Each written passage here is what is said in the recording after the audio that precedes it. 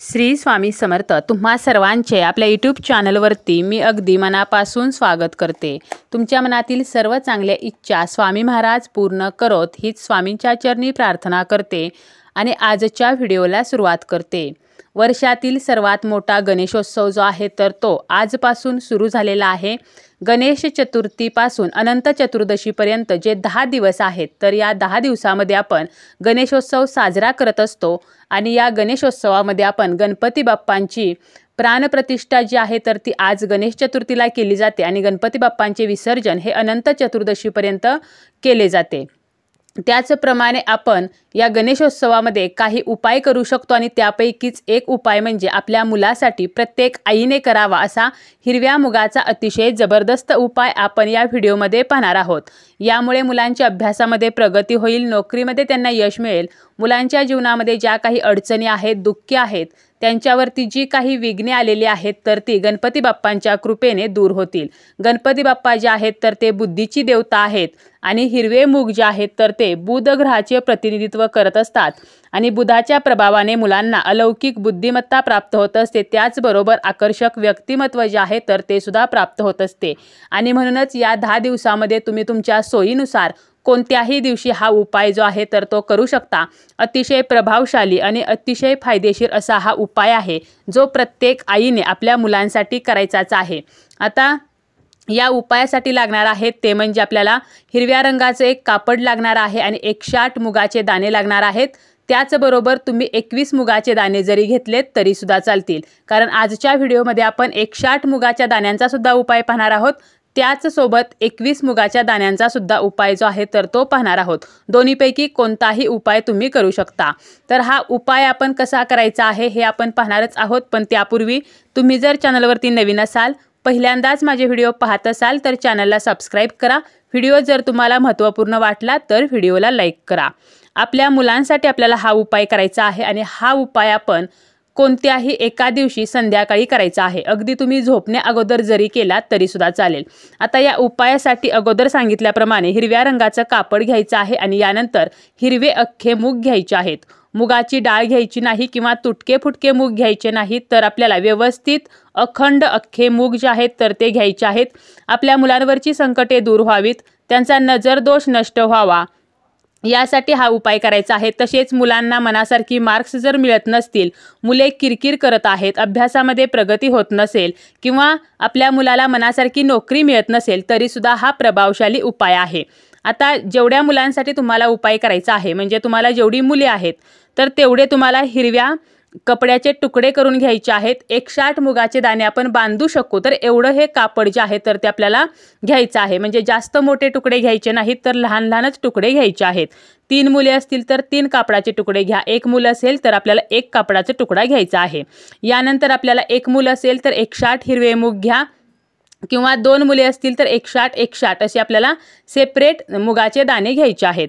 यानंतर काय करायचं आहे? तुमच्या घरी जर गणपती बाप्पांची प्राणप्रतिष्ठा तुम्ही केलेली असेल म्हणजे तुमच्याकडे जर गणपती बसवत असतील तर त्या गणपती बाप्पांसमोर बसायचं आहे. आणि जरी तुमच्याकडे गणपती बसवत नसतील तरी देवघरामध्ये जी गणपती बाप्पांची मूर्ती असते तर त्याच्यासमोर बसायचं आहे. बसताना स्वतःला आसन घेऊन बसायचं आहे स्वतःला हळदी कुंकू लावायचं आहे.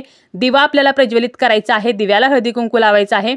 बाप्पांना हळदी कुंकू लावायचं आहे अक्षता फूल अर्पण करायचं आहे.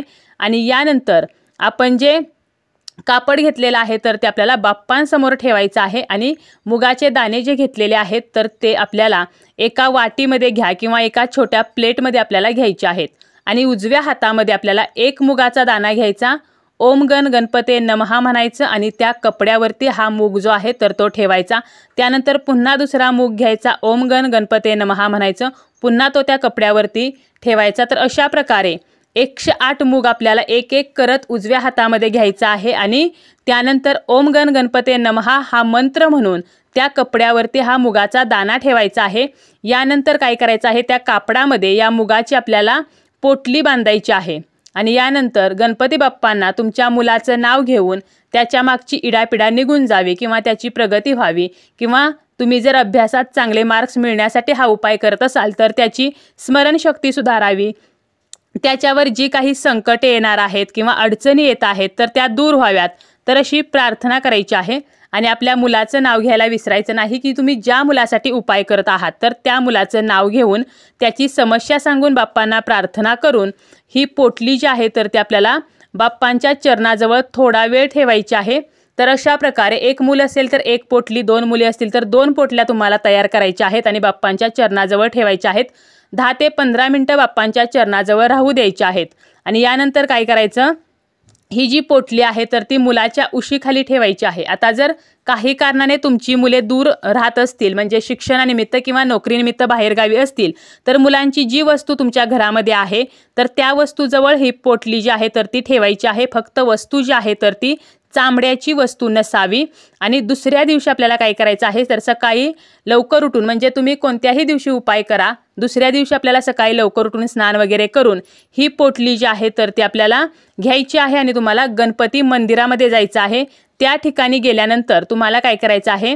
तर बाप्पांना आपल्याला दुर्वा जास्वंदीचं फूल अर्पण करायचं आहे. जाताना सोबत तुम्हाला दुर्वा जास्वंदीचं फूल गुळ खोबरे तर हे घेऊन जायचं आहे. त्यामुळे मंदिरात गेल्यावर हळदी कुंकू दुर्वा जास्वंदीचं फूल अर्पण करा. गुळ खोबऱ्याचा नैवेद्य ठेवा. आणि आत्ता गणेशोत्सव चालू आहे. त्यामुळे ही एकवीस हिरवे मोदक जे आहेत तर ते सुद्धा तुम्ही बनवून नेऊ शकता आणि तो सुद्धा नैवेद्य ठेवू शकता. आणि मंदिरामध्ये गेल्यानंतर या सर्व गोष्टी आपण बाप्पांना अर्पण केल्यानंतर ही पोटली जी आहे तर ती सुद्धा बाप्पांच्या चरणाजवळ आपल्याला अर्पण करायची आहे. पुन्हा एकदा बाप्पांना आपल्या मुलासाठी प्रार्थना करायची आहे. तुमच्या मुलाची समस्या सांगायची. जसं की मुलांना नोकरी मिळू द्या किंवा मुलाला हवी तशी मार्क्स मिळू द्या तर अशी समस्या सांगून मनोभावे प्रार्थना करायची आहे आणि ही जी पोटली आहे तर ती बाप्पांच्या चरणाजवळ मंदिरामध्ये तशीच राहू द्यायची आहे. तर अशा प्रकारे हिरव्या मुगाचा हा अतिशय जबरदस्त उपाय आहे. यामुळे आपल्या मुलांच्या आयुष्यात ज्या काही अडचणी येत असतात दुःखे येत असतात तर ती नष्ट होत असतात. आता जर गणेश मंदिर तुमच्या घराजवळ नाही तर मग काय करायचं? तुम्हाला गणेश मंदिरामध्ये जाणे शक्य नाही. तर मग तुम्ही अशी पोटली नाही बनवली तरी चालेल. मग तुम्हाला काय करायचं आहे? तर तुमच्या घरामध्ये जे गणपती बाप्पा आहेत किंवा मंडळाचे जे गणपती बाप्पा असतील तर त्या गणपती बाप्पांना आपल्याला एकवीस हिरवे मूग अर्पण करायचे आहेत. परंतु हे एकवीस हिरवे मूग अर्पण करताना काय करायचं आहे? तर बघा एकवीस हिरवे मूग जे आहेत तर ते तुम्हाला एक एक करतच अर्पण करायचे आहेत आणि ओम गण गणपते नमहा म्हणत आपल्याला गणपती बाप्पांना अर्पण करायचे आहेत. आणि यानंतर आपल्या मुलाची जी समस्या आहे तर ती बाप्पांना सांगून ती नष्ट व्हावी म्हणून प्रार्थना करायची आहे. आता जर तुमच्याकडे जवळपास मंडळसुद्धा नाही आणि तुमच्या घरामध्ये सुद्धा गणपती बसवत नसतील तर मग तुम्ही काय करू शकता? तर देवघरातील गणपती बाप्पांना हे एकवीस हिरवे मूग जे आहेत तर ते अर्पण करायचे आहेत.